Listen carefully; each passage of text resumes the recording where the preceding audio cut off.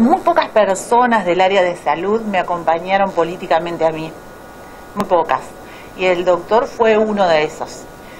Eh, por una relación quizás circunstancial, la, la esposa del doctor Colman, Florencia Lafourcade, el padre de Florencia Lafourcade, fue mi médico pediatra.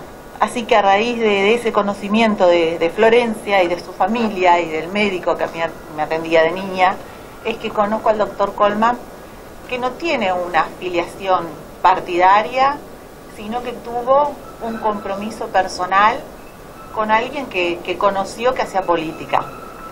Me ayudó muchísimo en un área compleja donde es poco común que los médicos se comprometan Em, con, la clase política.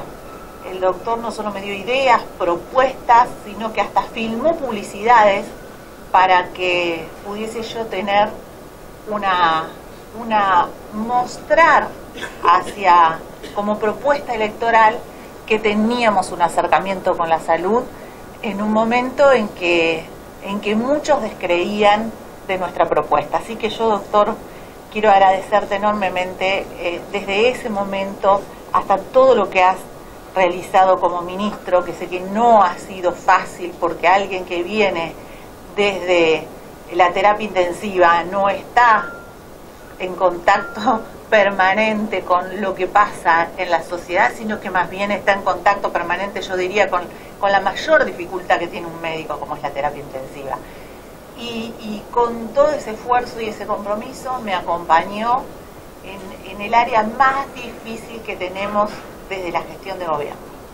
La más difícil, créanme, que es este área. Y bueno, ahora me ha planteado volver a la jefatura de su área. A mí me parece importante. Eh, hemos dado vuelta el equipo, el doctor Rucaus nos venía acompañando en fiscalización sanitaria y oficiando como de viceministro. Eh, también es alguien que conozco desde que llegué a Tierra del Fuego. Eh, tuvo una actuación destacadísima en descubrir la mafia de los certificados truchos, que es una, una mafia que acosaba con las faltas injustificadas al Estado, que creo que todos sabemos eh, que por una investigación que él llevó adelante en fiscalización sanitaria hay una causa penal, que tengo muchísimos reclamos de peronistas al gabinete. Bueno, si ya Rucao no les contesta contenta con peronistas en el gabinete, yo ya no sé qué voy a hacer. Les soy sincera. Porque más simbólico que este apellido, ahora nos van a decir Rucao que sos peronista de derecha, porque ya empiezan a dividir. Ya no les contesta de peronista, tendría que haber sido de no sé qué. Bueno, no, muchachos, nos ponemos de acuerdo y si nombramos un peronista, los peronistas sostenemos y ayudamos. En los hospitales hay muchos peronistas. Espero que todos esos peronistas colaboren como quizás no colaboraron con el doctor Colman. Yo aspiro, doctor Rucau, y sé que es el desafío más importante que nosotros tenemos.